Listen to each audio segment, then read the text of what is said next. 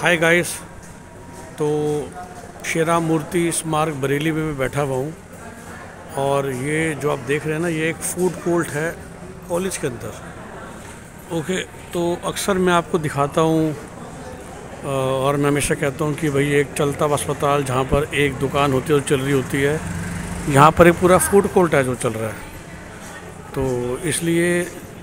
मतलब कि it is one of the another thing that what is happening here और, बस भाई फिर से भाई it is by far UP का बेस्ट कॉलेज